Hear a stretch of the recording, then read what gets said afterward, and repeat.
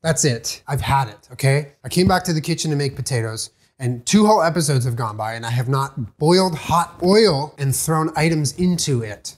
So today is the day we do that. Welcome back to Aries Kitchen. Today we're making some more potatoes, but just a little bit more violently than we did last week. Last week, you know, that was for you. Okay, you wanted mashed potatoes, you can have them. Now it's time to deep fry. And not only is it time to deep fry, but it's time to deep fry something I've never made before. So we're pairing really hot temperatures with inexperience, and hopefully that will equal deliciousness and safety. I am gonna be making croquettes, potato croquettes. Do you have to say potato? No, it's just a croquette. Not to be confused with that golf bowling mallet sport that old people play while they scowl at you while you're just trying to take a walk in the park and you're like, I don't even know what that field is for. What is even the point of that game? Where do you hit the ball? Anyway, this isn't that sport, okay? This is a potato ball that is gonna taste delicious and cheesy, hopefully, or it's a toy. Because when I was looking up different types of potatoes that people loved, supposedly, this to me looks like a toy. It's a ball, and that's it. That's all the qualifications it needs to be to be a toy. It's a ball. Your food is shaped like a ball. Choose a different shape, and then I won't call it a toy. You make like a potato dough, and then you like put it all together, and then you coat it in some stuff, and you deep fry, and then supposedly, it's gonna just be this beautiful fried masterpiece of gooey, cheesy, crispy things. Let's look up some of the history of croquettes from this website that I did not fact check. A croquette is a small cylinder or ball slash toy of filling that has been breaded and fried. Auguste Escoffier, a French culinary artist, created the modern form of these bundles of joy. This is biased. I don't know that it's a bundle of joy. It could be a bundle of annoying. In France in 1898, Olge, although Escoffier was the founder of this classical dish, Phileas Gilbert, another widely known chef, was also involved in creating and writing down the original recipe. Drama. The word croquette is rooted in the French word croquer, or croquet, sorry, which means to crunch or to bite. Like the old people will bite you when you step on their croquet court. The crumb comes from an egg. Oh, so we do need an egg. Okay. After coming to life in France, croquet. Okay, I'm happy for you or sorry that happened. I'm not reading all that. Let's make some croquets. And then if they're good, we'll chuck them at the wall. And if they're bad, I might chuck them at the wall too. Either way, we're frying food and probably throwing some. So if that's of interest to you, welcome.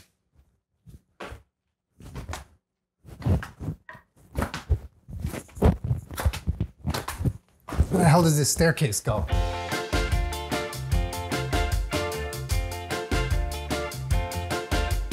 So in order to make this recipe, as with all recipes, we need some ingredients. Our ingredients today, pretty simple, pretty straightforward. First and foremost, potatoes. We will be using russet potatoes, and as well as an onion. You can choose yellow or white onion. I just ordered an Instacart and got some russet potatoes on there, but they just decided to give me the most stacked potato. Holy duck ass, look at that thing.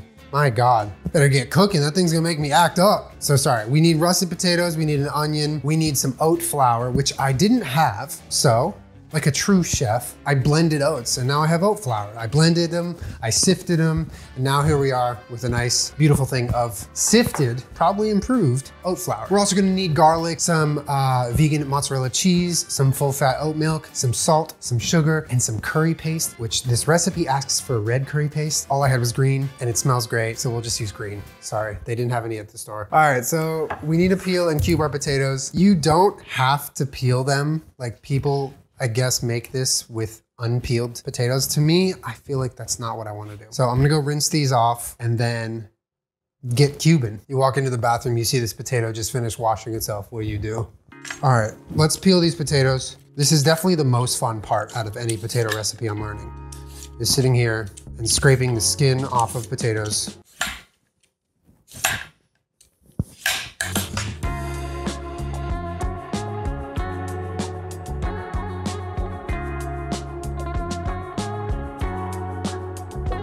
Last and absolutely not least, we have this potato to peel. So everybody salute.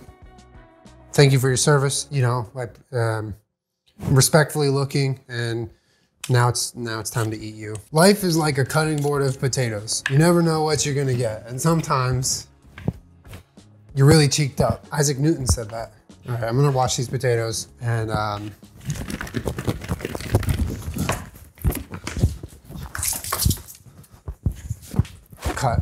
All right, uh, thankfully these have been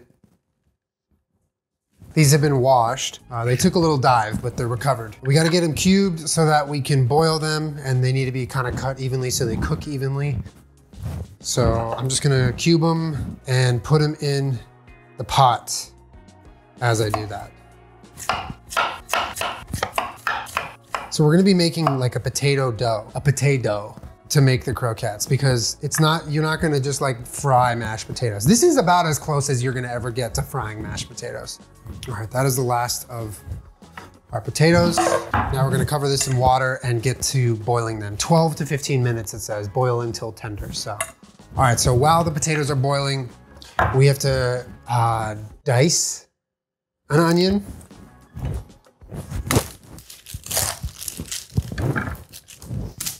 Doesn't say how finely we want this diced, but I'm pretty sure we don't want these to be like big pieces because these are all, these are gonna get sauteed, but then they're gonna go inside of the potato balls. So I'm just gonna finely dice this onion and then we move on. All right, I found uh, our newest recruit. He's the head chef actually.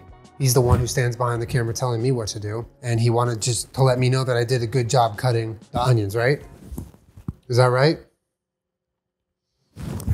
Tell him. Tell him what you just told me. Bad job. You said it was good. Thin ice? You're gonna fire me? I literally just started working here.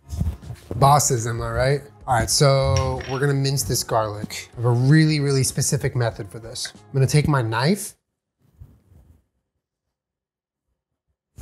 Nah, I'm just kidding. I'm gonna slam it with the knife. So, a little of that. Where did it go? Where did the garlic go? Oh, there it is. So just a little bit of violence to the garlic and then we'll just get mincing. Mincing.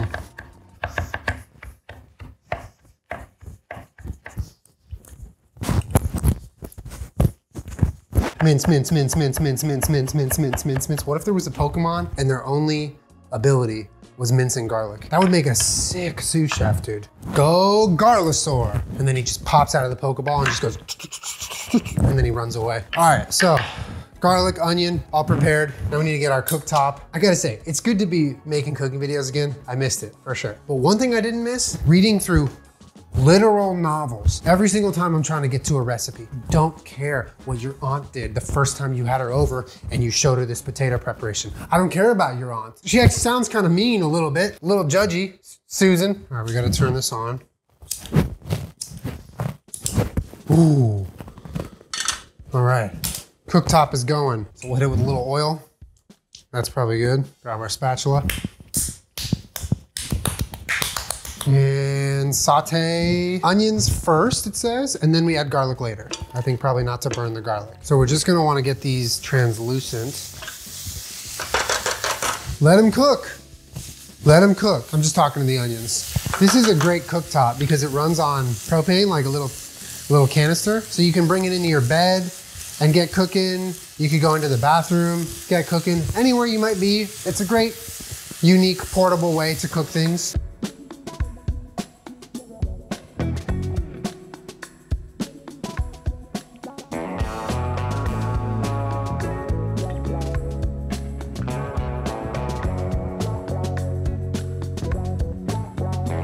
So my boss is back. He wanted to hang out and check on things.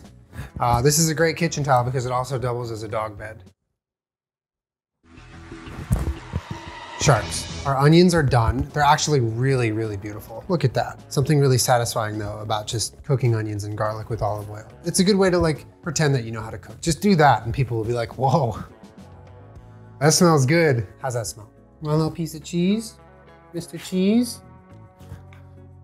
Yeah, let him eat. Let him eat. Oh, there we go. Yummy. Once the potatoes are done, I think we strain them. Then it says, add cooked onions and garlic, curry paste, sugar, salt, mix together, and then divide potato into 10 to 12 balls. This is where the this is where it becomes a toy. It goes from a food to a toy in this next step. You wanna play fetch with a potato ball? Okay, so I'm gonna take the potatoes off the heat now and I'm going to put them through the ricer. This is two weeks in a row that we're using the ricer. Again, if you don't have one of these, go to your local friend's house and steal it. Hopefully that works. If you get into a fight, I didn't say anything. Wasn't me. I didn't tell you to do that.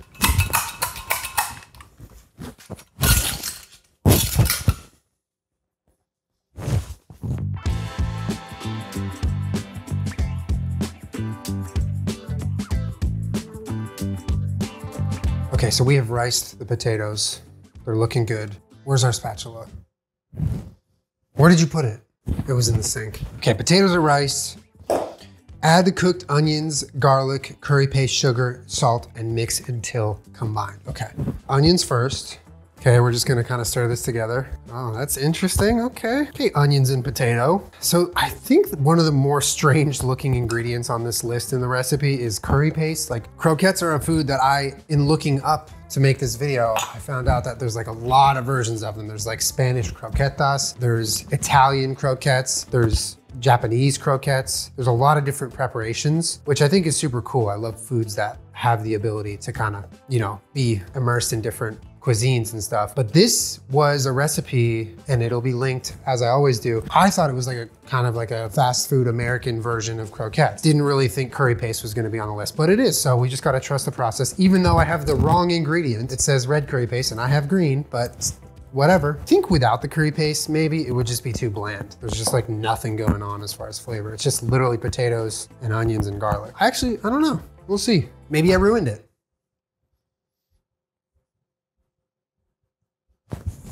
Mashing, combining, stirring, mixing, yada, yada, yada. So these are gonna make up the ball that we're going to bread and fry. All right, it's looking pretty good. It actually smells really good. Again, dark horse ingredient, curry paste. Never would have thought that. Have a, have a smell, smell it.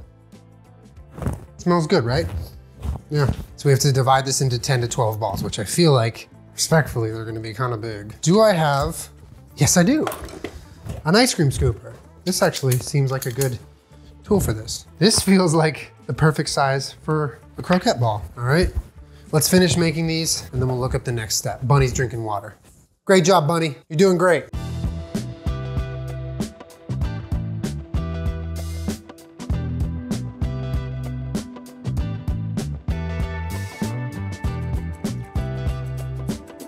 All right, so I'm currently trying my best to get the potato balls, open them up and fit some cheese inside while also being able to kind of close them back up. And it's proving to be pretty hard. This is like, I think technically the hardest part of the recipe right now. And I think it's because I'm using shredded cheese. So if you're gonna make this, maybe get some like blocks of cheese and then chop off little pieces that you can just stick inside because trying to fit shredded cheese inside the potatoes and then re kind of ball them is very hard. But it's working and I'm getting it done. It's just taking a while. You're just like stuffing the cheese in there and then shutting the door like it's a secret, right? This cheese is my secret. Don't tell anyone about it. Don't go to therapy. Don't let it out. Just keep it deep down so no one can see it and it only will affect you. Sorry, I was talking to potato. Okay, spoiler warning. I just took a little bite of the mashed potato mixture with the curry paste and everything. Oh my God, it is so good. Whose idea was it to put curry paste in mashed potato anything? Give them a raise. Throw a croquette at that person because that is delicious. So I have high hopes for these guys, okay?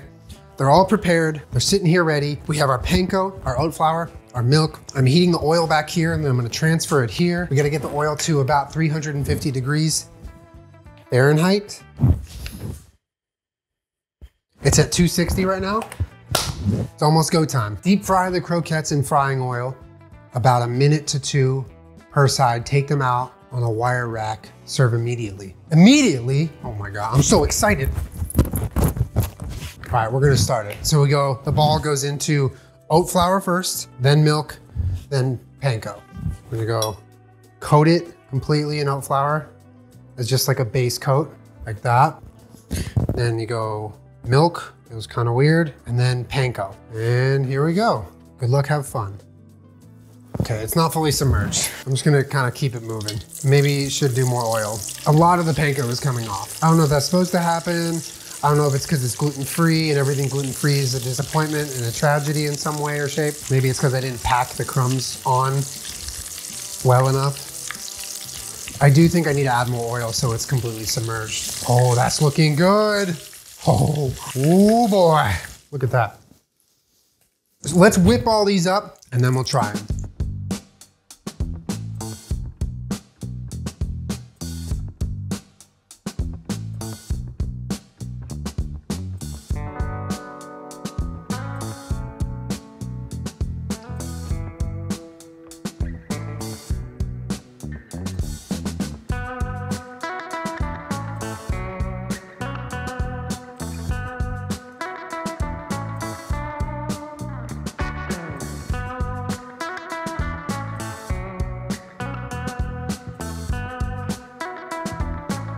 Okay. That was a hot, oily, messy journey. We're done deep frying our croquettes, and we have an array here of, uh, it's just a spectrum like anything else in life. Successes and failures and everything in between. Also crumbs, uncooked cheese, there's just everything. So whatever you're into, we got it here. At Julien's Croquette Shop, you better crow bet you're gonna have a good time here. Now it's time for what's called, where you pull it apart, cross section, cheese pull. So this one looks pretty good. It's perfectly circular. It's like golden brown. Some of these look a little overdone. Let's do a cheese pull.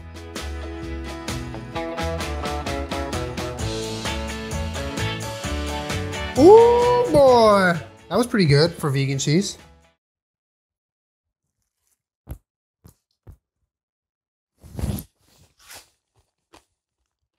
Okay, hold a second. Okay, this is the best thing I've ever eaten. And it's a ball, so you can play with it. I felt it crack. The thing is, it's like deceptive because it looks like something is inside of this that would hold its shape. But it's really just mashed potatoes. You could look at a croquette and be like, man, that's a ball. You could play with it, but That's really hot. Can't play with it. It's an illusion, just like most things in life. I have a lot of feelings and things going on right now. This tastes delicious. It's like the tastiest of the potato plus crispy fried stuff, which you can never go wrong crisping and frying things, especially when there's cheese involved. It's just such a, a wonderful combination of everything. I mean, I guess you probably could play with it. Take one of the overdone ones. I could probably do 90 with this thing. All right, welcome to Croquette Baseball, where we fry them hot and we toss them hotter. Right.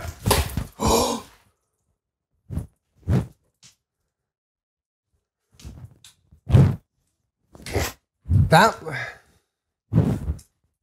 strike perfect throw, I might say so myself. Anyway, back to the food. You have to really make sure your oil temperature is on point. That's gonna make a big difference. But man, you hear that crunch? That is nice. That is really nice. I wanna try to do another cheese pull here. Ooh, that one was good. That one was good. That one was like mm, Pinterest level almost, minus the life story. It's a great delivery service for potatoes. I'm a fan of croquettes. I'm a fan of croquettes. I still stand by this being in the food category that is also a toy, because it is a toy. I just demonstrated that with my highly scientific procedure over here. These are delicious. Like these are A tier, maybe S tier. These are like A plus. I think the reason that they wouldn't be S tier Oh, that's so good though, dude. Oh my God. You have to run out and make these today. They're so good. It's a perfect packaging system for potatoes. And then you have the curry paste, which adds a whole level of complexity to the flavor. And then the cheese and the panko. Yes, this is good. This was worth all the hours that I just spent doing it. I don't know, A plus. A plus croquettes. A plus. I, uh, I underestimated you. And next time I'm gonna do my best to estimate you. Also, I don't know why I'm talking to a potato, but that's where we are today. I hope you get to try this because it is delicious. I have two giveaways today. I have the one I smashed with my hand and then I have the wall croquette. Um, comment down below and I'll pick two lucky winners to package those puppies into an envelope and get them on, send them your way. Thanks for watching another episode of Aries Kitchen as we delve deep into the world of potatoes and potato meals and potato theories and history and science and potato math. I'll see you next week, hopefully for something a little bit more chill. Also, happy Cinco de Mayo. Bye now.